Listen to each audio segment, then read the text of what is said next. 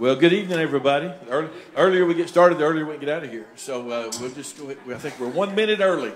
So uh, why don't you stand with us and let's sing. We are glad that you're here. Blessed be your name. Blessed be your name in the land that is plentiful, where your streams of abundance flow. Blessed be your name. Blessed be your name when I'm found in the desert place. Though I walk through the wilderness, blessed be your name.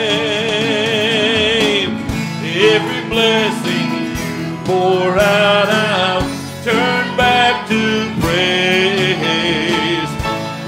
darkness closes in, Lord, still I will say, Blessed be the name of the Lord.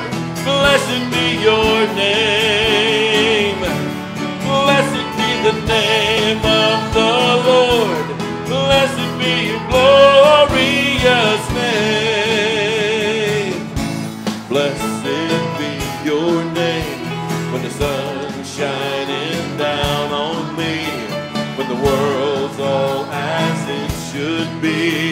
Blessed be your name.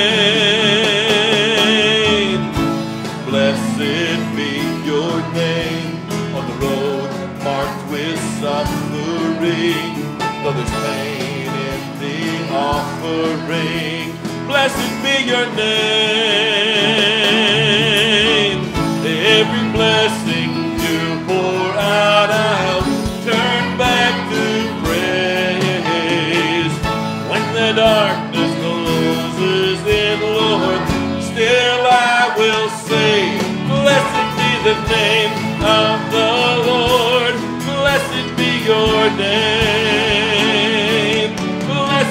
The name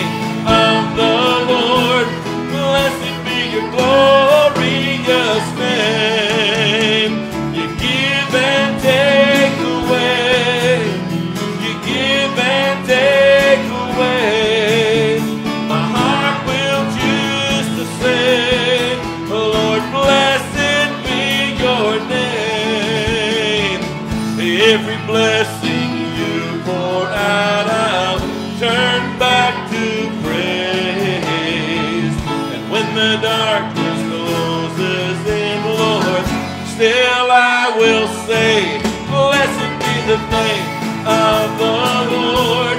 Blessed be your name, Jesus. Blessed be the name of the Lord. Blessed be your glorious name. Oh, blessed be the name of the Lord. Blessed be your name. Name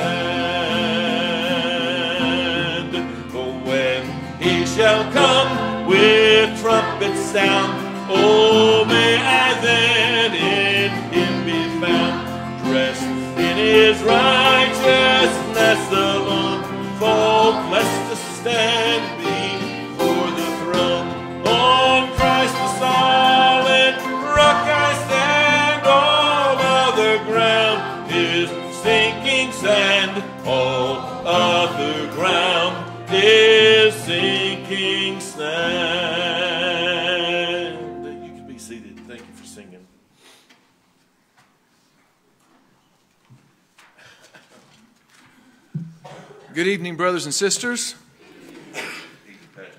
Good to see you here this evening. I trust you've had a good day, a blessed day. That the Lord has used you today to bring glory to Him and to build His kingdom. It's good to be in the Lord's house today. Had a good day today. Enjoyed having dinner with uh, Brother Dennis and Sister Diane. Sister Debbie cooked a great meal, and it was good to be able to catch catch up with them. Amen. Amen. It was it was good. Uh, the food was good. The fellowship was good, and it's good to be back in the Lord's house tonight. Uh, I threatened the Cariker sisters last night. I'm, I was afraid they wouldn't come back, but they've come back and they have uh, a song ready for us to sing tonight. And I believe they've shared. Marion, are you ready? They're going to sing it off. They're going to sing it a cappella. He mentioned Barney Fife last night. Barney Fife loved a cappella music. I, I, I like Andy Griffith Show is the greatest show ever made. That may be the best amen we get all night. Well, I'm going to read this scripture and we're going to pray together. Then the Cariker sisters are going to come up and sing, and then we're going to sing a couple more songs. And then Haley and uh, Ashley have a song for us as well. Then Brother Dennis is going to come and preach. This is from Colossians chapter 3. Put on then, as God's chosen ones, holy and beloved, compassion, kindness, lowliness, meekness, and patience, forbearing one another, and, if one has a complaint against another, forgiving each other. As the Lord has forgiven you, so you must also forgive. And above all these, put on love, which binds everything together in perfect harmony. And let the peace of Christ rule in your hearts, to which indeed you were called in the one body. And be thankful. Let the word of Christ dwell in you richly. Teach and admonish one another in all wisdom, singing psalms and hymns and spiritual songs with thanks with thankfulness in your hearts to God. And whatever you do in word or deed, do everything in the name of the Lord Jesus, giving thanks to God the Father through him. Let's pray. Father, we are thankful for this day that you've given us. It is a gift. We remember how your Son taught us not to worry about tomorrow and to trust you and to let your peace dwell in our hearts today. And we thank you that you've given us this day. We pray that the words of our mouth and the meditation of our heart and the work of our hands this day uh, will bear much fruit, that the words we've spoken and the work of ministry we've done today in our homes, in our places where we work, and in your church um, will bring honor and glory to you, that the word that has been proclaimed already today would sink deeply into the people's hearts. Lord, those yesterday's funeral and today's funeral, we pray that you would give them your grace and your comfort. And the word that they heard, we pray that it would encourage them. And I pray, Lord, that you would bless Brother Dennis as he preaches your word tonight, that you would anoint him with power from on high to do the work that you've called him to do, to proclaim the gospel, to encourage your church. And so we pray that you bless him, bless these sisters, these ladies as they sing. I pray that the words that they sing would bring glory to you and encourage your people as well. And we pray that you do great things in this church and in our hearts tonight. We pray all this in Jesus' name. Amen. Come on up, sisters. Uh, we have this microphone, or we have several.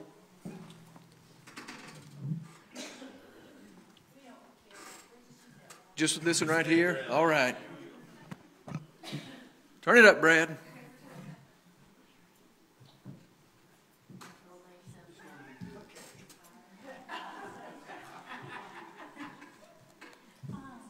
You get in the middle, Ruth.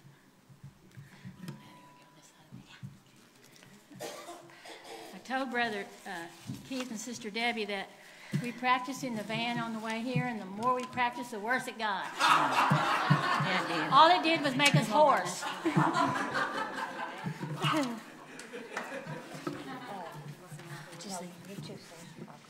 was getting on the side of y'all.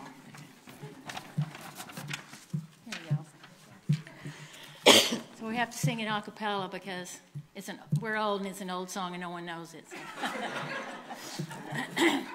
I've heard people talk about heaven and describe its beauty so rare. So one day I purchased a title to a mansion in that land so fair. It was given to me without money, but it cost the dear Savior his life. He died on the cross without murmur. For me, paid the great price. Oh, I hold that clear title to a mansion that Jesus has gone to prepare. Fire cannot touch it, floods cannot harm it, and it never will need a repair. Oh, the termites can't harm its foundation, for on the rock of ages it stands. I feel that it's almost completed and ready for me to move in. My deed was both signed and recorded the day Jesus saved me from sin. My name was engraved in gold letters in the Lamb's Book of Life safe within. I'm an heir to a mansion in glory when from this old world here I roam. I'm waiting for Jesus to call me, then I'll lay down my cross and go home. Oh, I hold a clear title to a mansion that Jesus has gone to prepare. Fire cannot touch it, floods cannot harm it, and it never will need a repair. Oh, the termites can't harm its foundation, for on the rock of ages it stands. I feel that it's almost completed and ready for me to move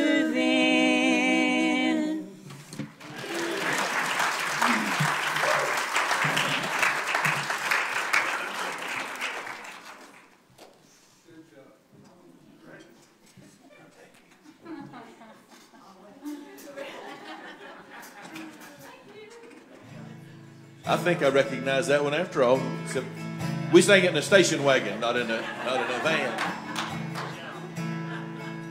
Beautiful job. Thank you, Sister's Cariker.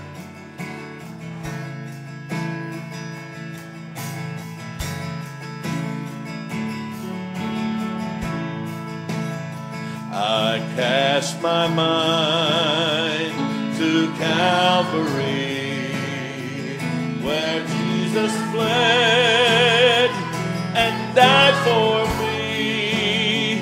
I see his wounds, his hands, his feet, my Savior on that cursed tree. His body bound and drenched in tears lady.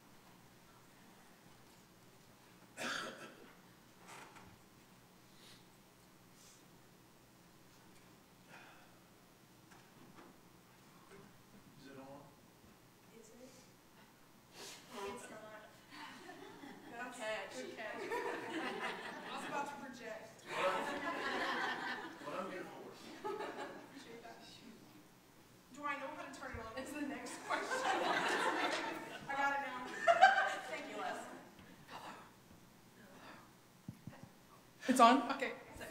Thank you, Brad.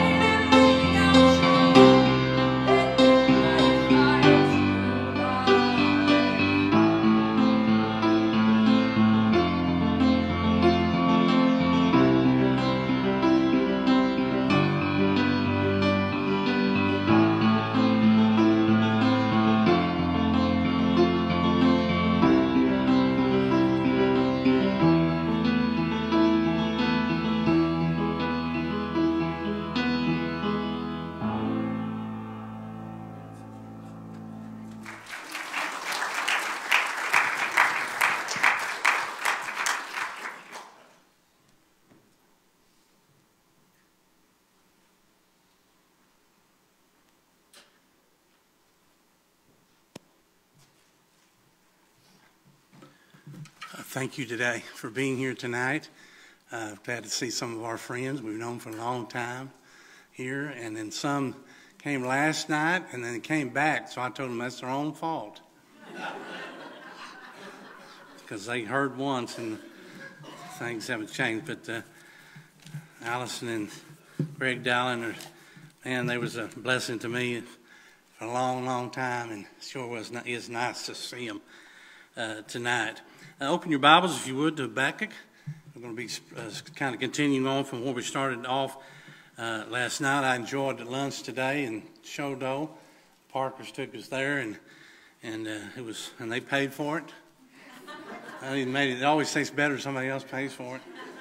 And then uh, I ate at Keith and, and Debbie's tonight, and she's a, I'd always heard that she was a fabulous cook, and it's uh, certainly true. It's a, uh, you know, they say that uh, the difference between love and marriage is love is blind and marriage is an eye opener. and uh, I've experienced that. Uh, married to Diane, I was standing in front of the mirror, bathroom mirror one evening, admiring my reflection when I posed this question to Diane. Will you still love me when I'm old, fat, and balding? She said, I do. Thank you to my sisters for coming tonight and my brother David. We've only got to go to church a few times, uh, uh, and not most of them here lately, but maybe when he was in Salina, we went to church together and stuff like that. So it's nice to see my brother David with us from the land of the faraway land of Texas back to Oklahoma where he belongs. And we're glad that we get to fellowship with him and see him on a regular basis.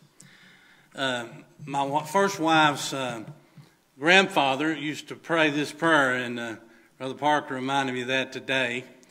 If you called on Bill Ketchum to pray, he would start off this way. From everlasting uh, to everlasting, thou art God. And the hair just stand on my neck.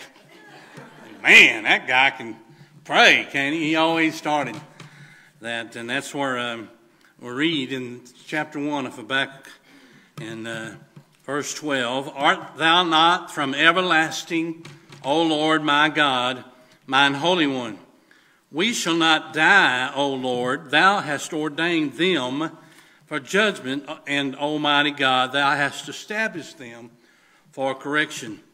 Thou art of pure eyes and to behold evil, and cannot look on iniquity. Wherefore lookest thou upon them that deal treacherously, and holdest thy tongue when the wicked devour the man that is more righteous than he, and makest men as the fishes of the sea, as creeping things that have no ruler over them. They, took, uh, they take up all them with the angle, they catch them in their net, they gather in their drag, therefore they rejoice and are glad. Therefore they sacrifice to their net, burn incense to their drag, because by them their portion is fat and their meat plenteous. Shall they therefore empty their net and not spare continually to slay the nations? Chapter 2. I will watch I will stand upon my watch, set me upon the tower, and watch to see what God or he will say to me, and what I shall answer when I am reproved. And the Lord answered and said, Write the vision, make it plain upon the tables, that he may run that readeth it. For the vision is yet for appointed time. At the end it shall speak and not lie. Though it tarry, wait for it, because it will surely come. It will not tarry. Behold, his soul which is lifted up is not upright in him, but the just shall live by faith. Ye also, because the righteous, uh, by, he transgresseth by wine, he is a proud man, neither keepeth at home. One who enlargeth his desire is hell, and is as death. And it cannot be dissatisfied, but gathereth him into all nations, and heapeth upon all the people. So we're going to look at this second complaint that Habakkuk has answering the question, asking the question, God, you don't seem to be fair. We talked about last night, God, where are you when I need you? And tonight we're going to talk about, is God really fair? Father, we pray tonight that you would take your word and you would pierce the heart of every believer. I do not know the needs of those that are here. I do not know the specific issues that they're facing. I don't know the troubles, the difficulties, the joys, the concerns that they the folks here have, but you do, God. As a matter of fact, we often do not know them ourselves. We just know that we're often troubled in our spirit or anxious when we should not be. So we pray that you'd pierce our hearts tonight, reveal to us the things in our life that we could change, that we could ask forgiveness for, that we could do better in, in ways that we could help others. And we'll give you the careful, be careful to give you the praise because you, to you belong all the glory, the good. It's all about you, Jesus, and we love you tonight. Thank you for what you're going to do. In Jesus' name we pray, and amen. Have you ever heard kids say, that's not fair? If you've been around kids very much, you hear that all the time. Maybe you said that to yourself. God, this is not fair. It really gets to be a serious thing when we start asking, telling God that He's not being fair with us. So we pray that God would give us wisdom to understand the challenges that we face. The question, are you really fair, God, comes from an opinion or perspective, our perspective on reality. I think it's important if we, if we have to understand what perspective is. All of us have different perspectives on life. You have a perspective of God. I remember reading a, a book one time, and it showed a great big uh, uh, picture window that was all cracked, had all kinds of cracked in it. And, and it was uh, using illustration of a young lady that was molested, uh, sexually molested as a young person. And her window to the world was cracked. The, the lens she saw the world through had all these cracks in us. All of us have different perspectives on God. You have a perspective of what God is like, and it's different from what other people uh, perspective is of God. Dictionary defines perspective thusly the act of using our senses to form an opinion about reality. The act of using our senses to form an opinion about reality. More than you realize, every day, every moment, you're using your perspective of God to interpret what's going on uh, in the world. You're using your own personal opinion about how you view things. The problem with perspective is that is not the same as reality. Your perspective not be real. You, and you know people's perspective is warped. Y'all know people like that, don't you? Don't elbow your husband. Don't elbow. Don't elbow your spouse right now. And their, their, their perspective is reality, is not reality. There's a gap sometimes between my faulty perspective and the, and the way things are is what causes so much pain and anxiety. And one of the reasons we come to church one of the reasons we read the Word of God is to get our perspective lined up with God and His Word. I can tell you uh, from with all authority that if your perspective does not align with the Word of God, you're wrong. I hear people say all the time, well, I don't know what the Bible, I don't care what the Bible says, I believe this. As if that makes it okay. So we come to church and we ask the Spirit of God to take the Word of God and help us to get a picture of what real reality really is. Because we live in a fallen world. And the way the culture goes is not always God's way. And the way we raise our, raise our families is not always the way the world says that we should uh, raise them. So we have to get our perspective aligned with the Word of God so that the way I see it is the way God sees it. If I get my perspective lined up with God, then I'm on a good trail, and you're on a good trail too. I remember the old joke about a homeless man needing some money, and he said, I'll paint whatever you want to. And uh, she said, okay. So she gave him a, a, a, a, bucket of pink paint to go around paint the porch. And he came back after about 30 minutes. It's already painted. And it's not a porch, it's a Mercedes.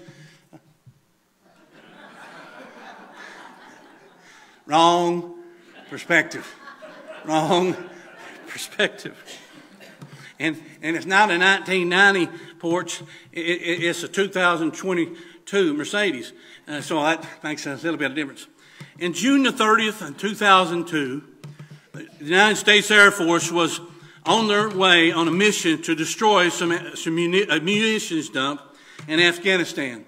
While on their way, they came upon a large group of Afghans who began waving their arms in the air and firing at them. They, they opened ret- uh, return f- fire, killed 45 and wounded 117 men, women, and children who were celebrating a wedding by shooting their guns in the air. Wrong perspective. It's serious when our perspective is off, especially when it comes to God and eternity. How many people do you know that, oh, I'm just going to go and I'm as good as anybody else and I'm all these things, thinking that when they get to heaven, it's going to be okay because they thought it was that way. When, we come, when it comes to eternal things, when it comes to our spiritual well being, it's really, really, really, really important that we get God's take on it. Because it really doesn't matter what we think unless what we think measures up to the Word of God. And everybody said, Amen. So in this passage today, we're going to dig out uh, some stuff and, and see if maybe we have some opinions about God, about how He works, that not, are not, rea- uh, not rooted in reality or truth. So God says, uh, Habakkuk, bring your questions to me. Let's deal with them. And we're looking at this passage of Scripture uh, here t- tonight. Previously, Habakkuk had registered a complaint to God about the spiritual decline of God's people. Now, God is going to give him an answer. Now, he's not giving Habakkuk the answer that he wants. He's giving uh, an answer. And he doesn't like the answer that God's going to give him. We're going to see in these verses. God says, I'm addressing the issue of Israel's sinfulness by bringing the Chaldeans or the Babylonians to correct and discipline Israel until they get things right. And Habakkuk can't understand it. He says, God, he starts coming to God. You're bringing who to discipline us?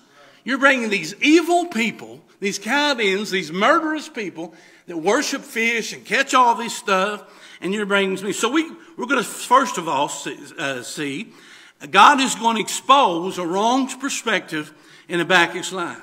And until you get your perspective right, you have to realize you're not thinking right. I remember one of my family members was in, had some difficulty a long time ago, and he came down to stay with me, and he said this, "You know, I can't believe I thought like I thought. I can't believe I thought like I thought. How can you guys remember that you did stupid stuff, and you said, I can't believe I thought like I thought, huh?"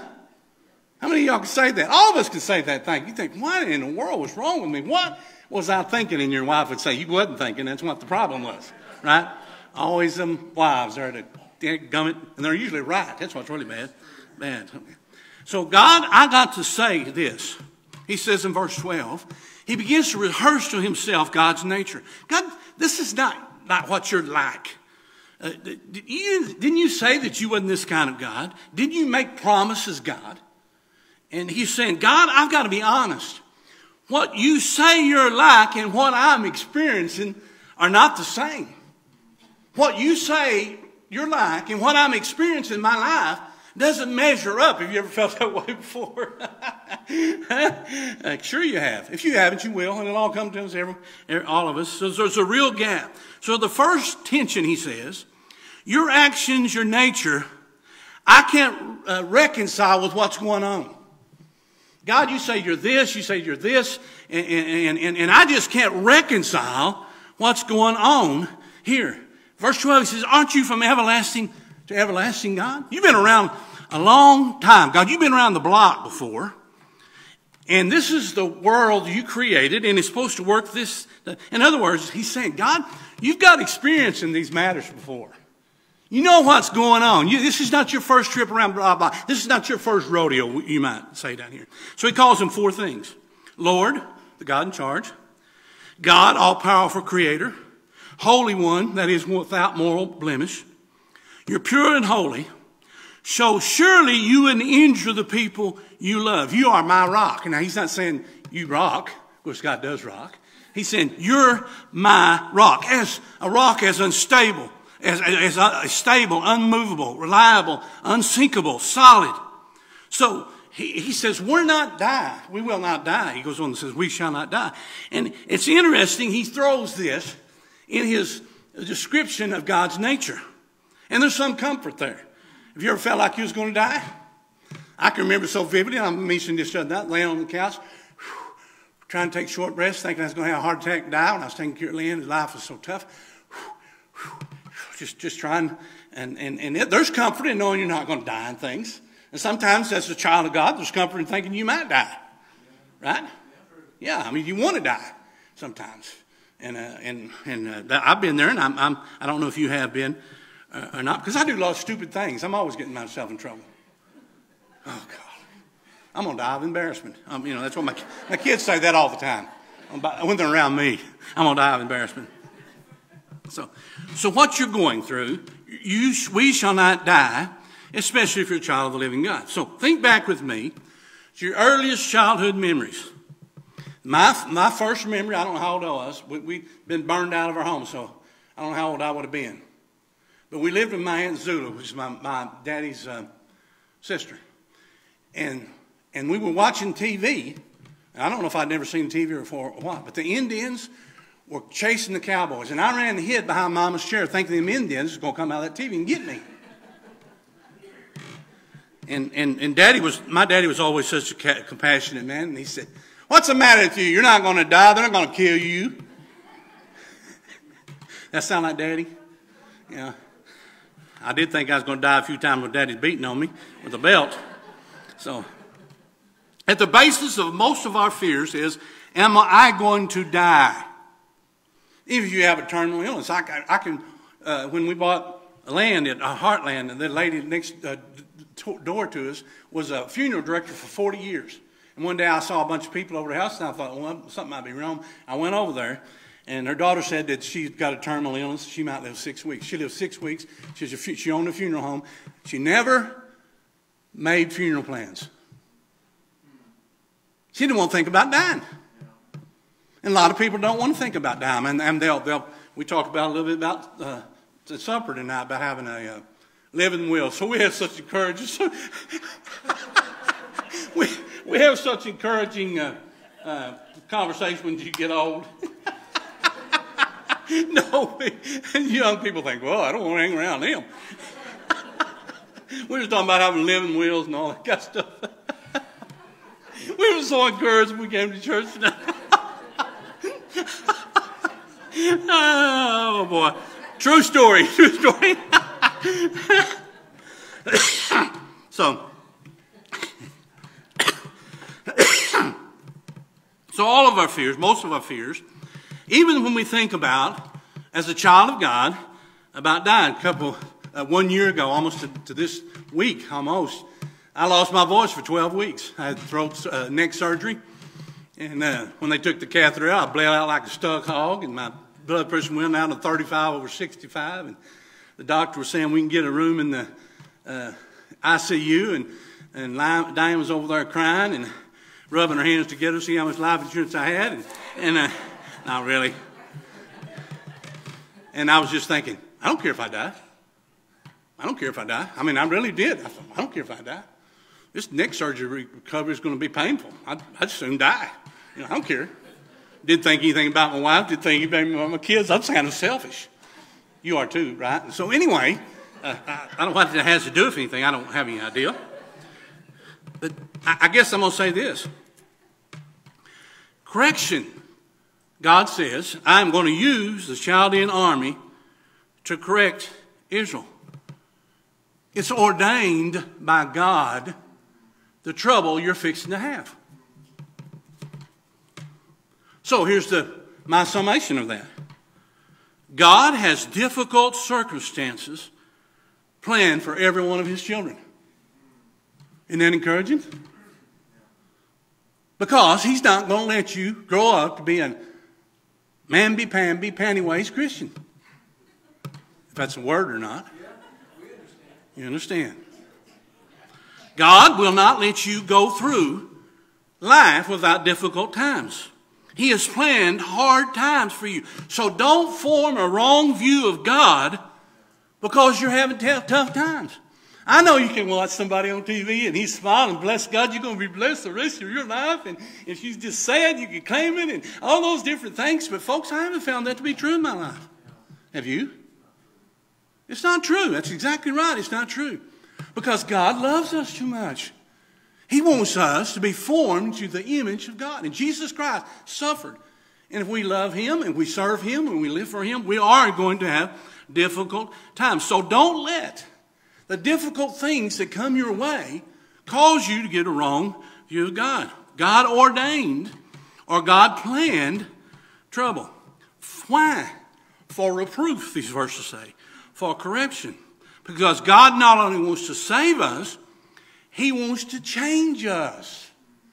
All of us need changing. We have to rid ourselves of the faulty ideal that difficulties will never come into my life once I accept Christ as my Savior. That is simply not true. Salvation is just the start of our experience with God.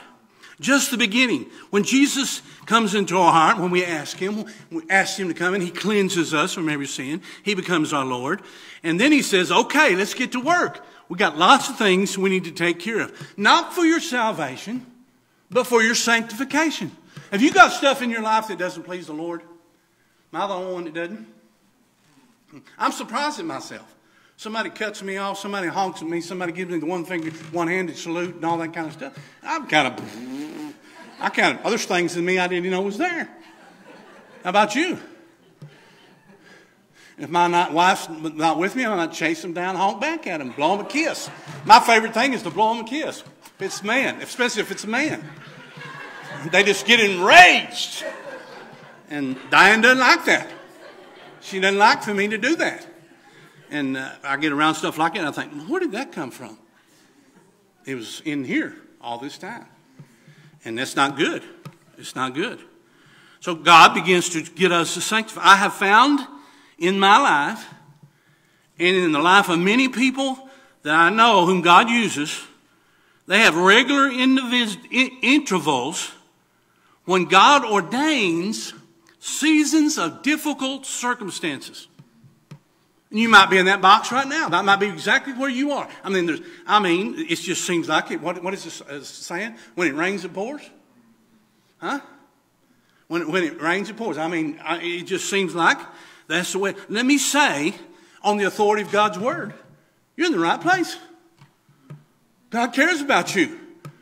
He's going to, he's going to build character in your life. He, he loves you too much to let you go on having these false assumptions and all these things. But in the middle of that, and I'll, I'll get to that more later, I could, I could just say it this way. I am a satisfied customer of the grace of God ministered to me in the most difficult times of my life. God did not leave me. He showed up. Just like Daniel in the lion's den when he was thrown in there. Just like the three Hebrew children in the fiery furnace. If you are a legitimate child of God, you will be given the opportunity to get closer to God through difficulties. And yes, God brings them your way. I have to say, that I ultimately believe God is in charge of everything in my, in my life. I don't think that God uh, causes everything. I don't think He causes somebody to get drunk and, uh, and run down the road and, hit, and run into your loved one or to you. I don't think God causes uh, different, a man to get a gun and shoot somebody. I don't believe that. I don't think God causes that. But I do believe if God wanted to, it, could not, it would not happen. And that might seem cruel to you.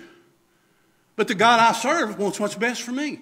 He wants what's best for me. So I am a satisfied go, a, a, a customer of the grace of God. God's love does not raise up a bunch of sissies. Is that appropriate to say nowadays? I don't know if it is or not. Sorry, Pastor, if it isn't. He doesn't plan on bringing up soft skinned, spoiled children who need everything in their life to be perfect and enjoy God and people and things. It's the truth, folks. And I will guarantee you in life, the people of this church, the, the, even younger and all the way up, there's going to be things in your life. And you're going to have to show that you do love Jesus. And you're going to have to show that you, that you believe God. And you're going to have to trust Him when it doesn't make a lick of sense. You're going to say, I'm going to go with God and I'm going to stay with Him. No matter what happens, I'm staying with God. He'll do that because He wants you to know, not that He'll know your faith is real, so that you will know that you can trust Him in the most difficult times of life. The Lord corrects his people. Verse, uh, the Lord corrects the people he loves and disciplines those he calls his own. Hebrews 12, 6. For whom the Lord loveth, he chasteneth and scourgeth every son whom he receiveth. No hardship? Ooh, bad. Bad. Are you sure you're saved? No hardship? Hmm. Even bigger in Habakkuk's mind, he says, Thou art of pure eyes and behold evil and canst not look on iniquity. Wherefore lookest upon them that deal treacherously, hold their tongue when the wicked devour the man that is more righteous uh, than, uh, than he. He is saying, God, I can't reconcile what you're doing with how much I'm, it's hurting me.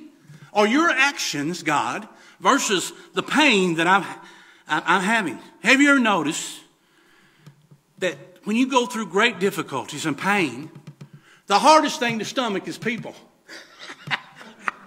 oh, boy, I tell you what, Christians can mean, man, they can be mean. I'm talking, I mean, they can be mean. I mean, some of the meanest folks I know are Christians.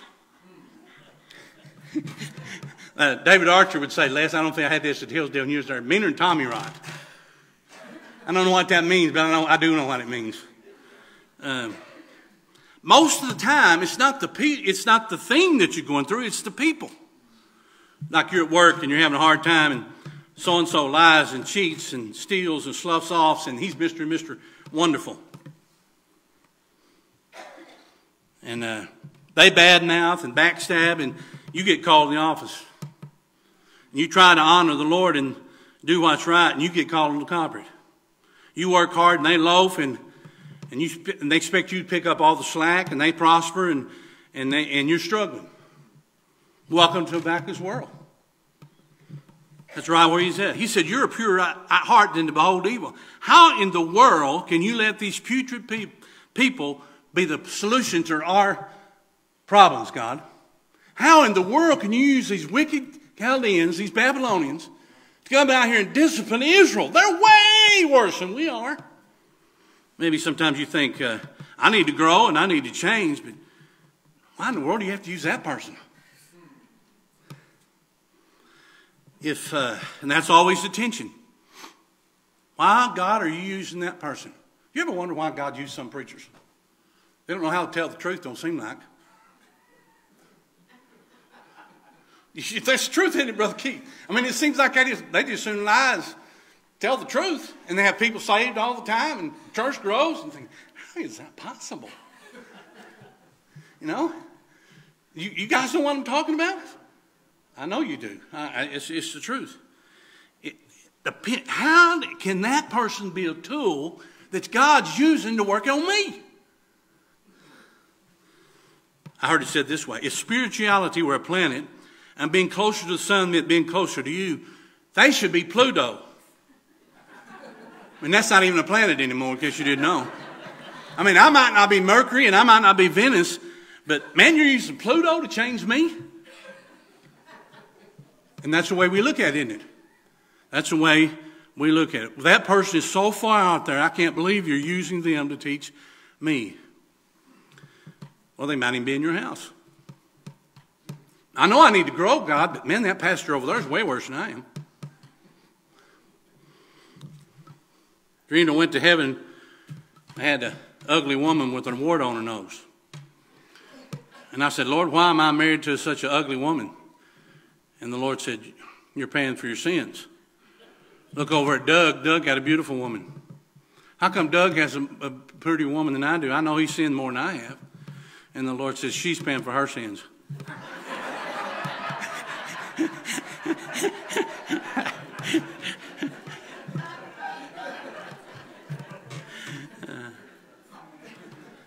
God, I, I can't reconcile who you're using with how much this hurts. The fact that you're chastening me and the people you're using, I, I can't reconcile that. And then the third thing, and I, will quickly get, get through this, I can't reconcile your action with their arrogance.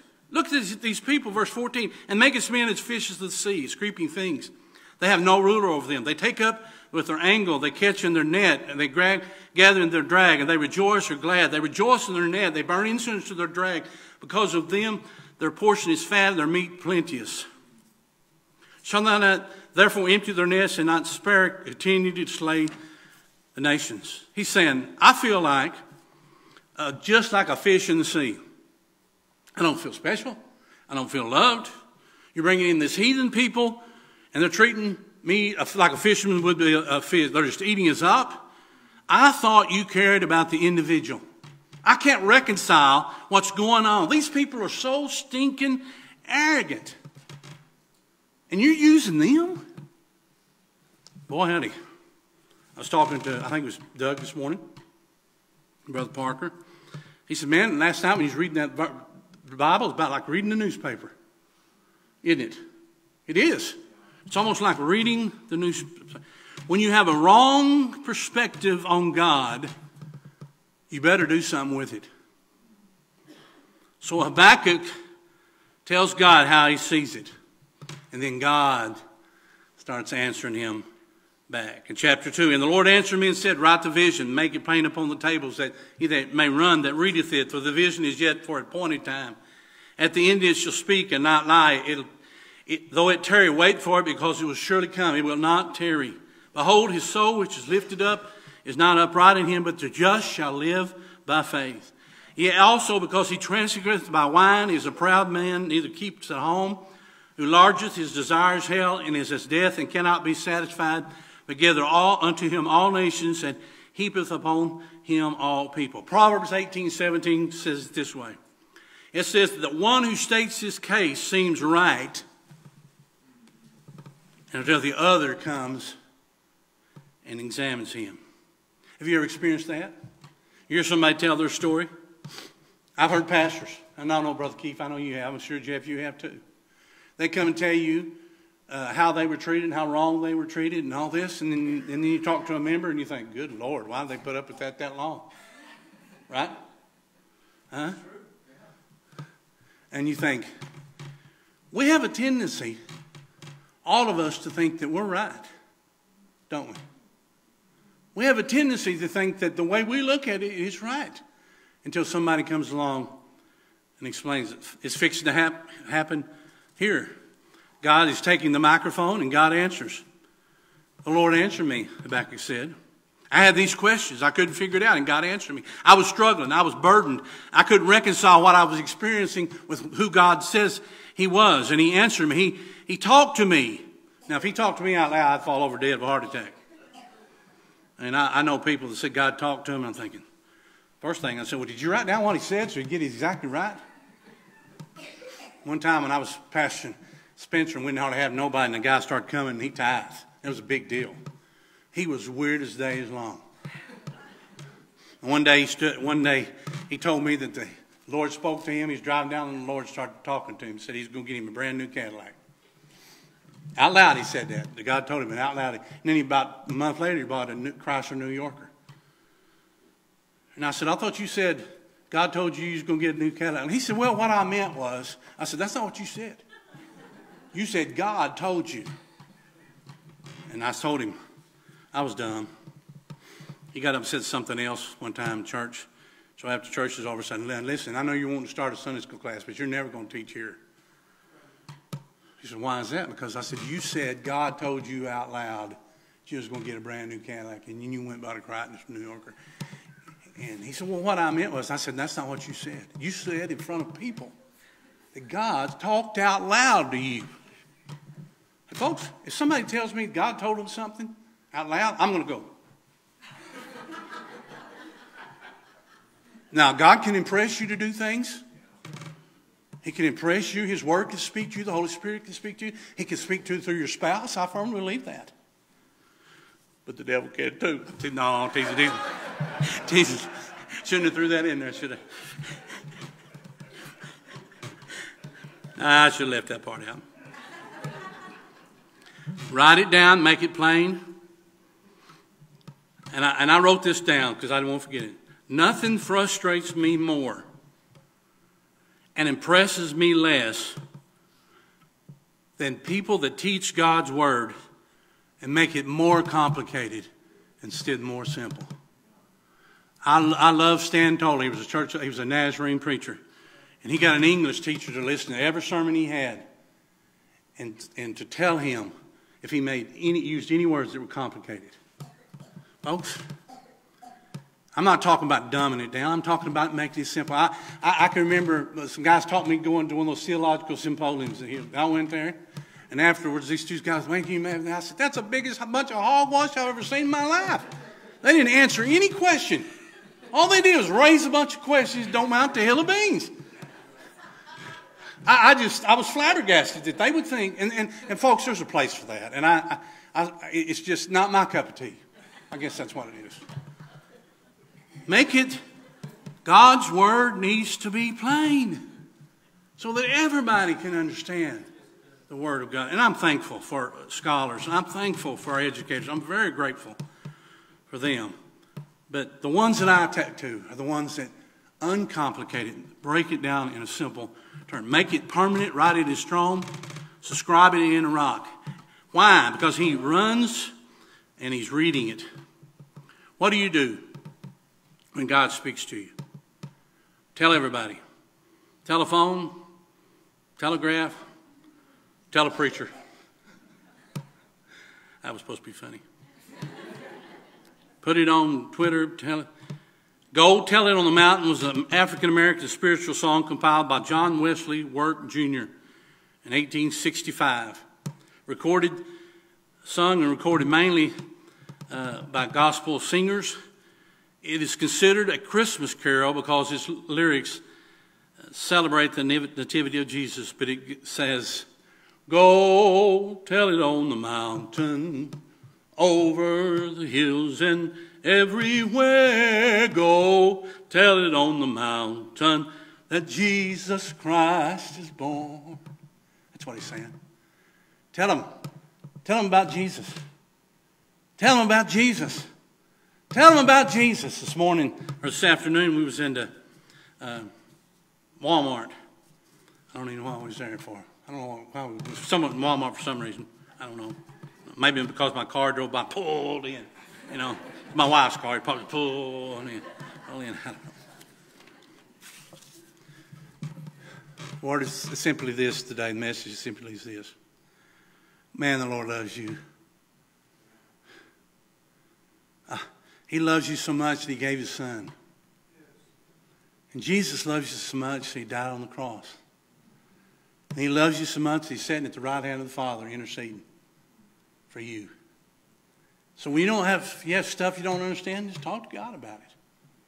Talk to God about it. Uh, I think uh, Les and Marion have an invitation for us, and I, I pray that God will speak to your heart, and you feel the need to come and pray, that you'll do that. God bless you. Father, we love you. We thank you for this wonderful church and these good people and their pastor. So many people that have known for so long, and they've been so faithful, and their families are families from this church are just going out all over the world, really.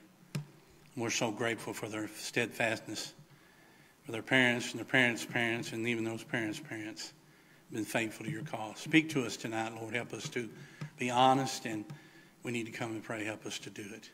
Go ahead.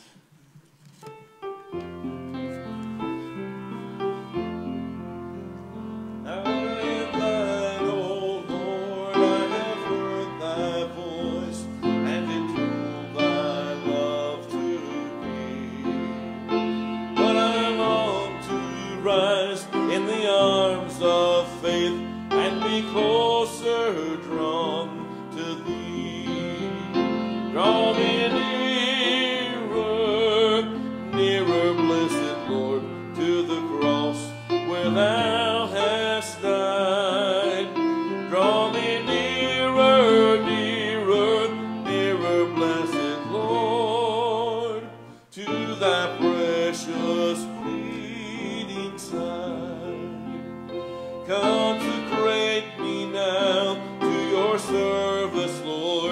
me nearer,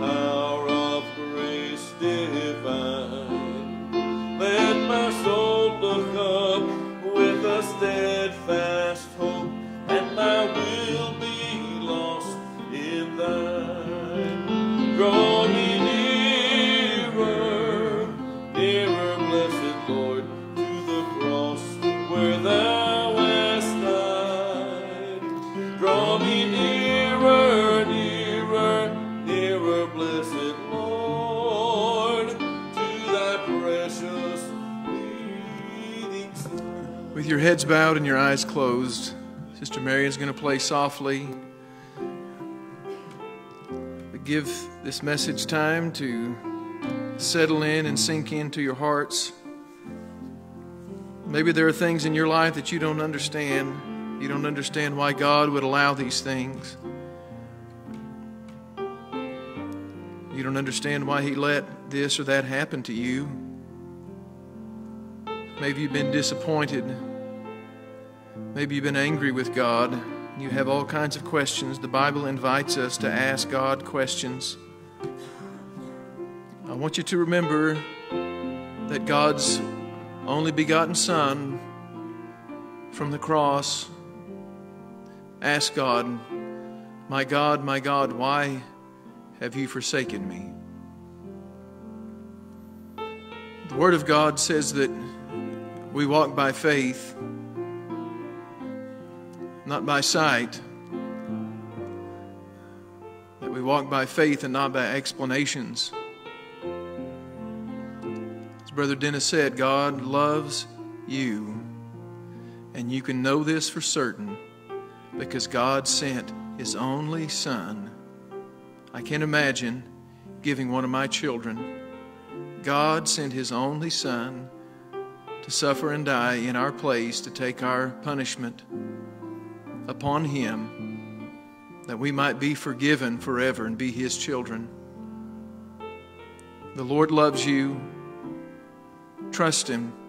If you have questions, come to Him sincerely. Keep taking your questions and even your complaints to God. Don't stop talking to God. He loves you beyond what you could possibly imagine. Marion is going to play softly for just a moment. Maybe you have a question or a complaint that you want to speak to God about. Go ahead and do that. In the stillness of this moment, pour it out to the Lord.